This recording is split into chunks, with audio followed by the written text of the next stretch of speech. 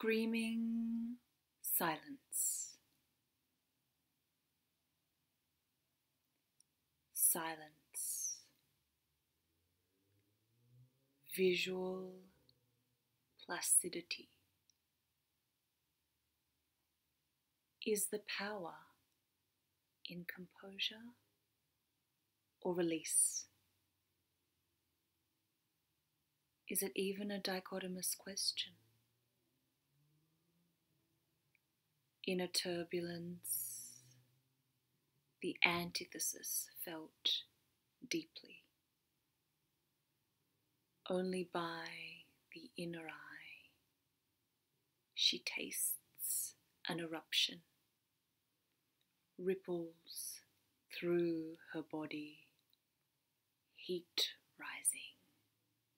It emerges from every pore, resounding within, symbiosis now, felt outside and in.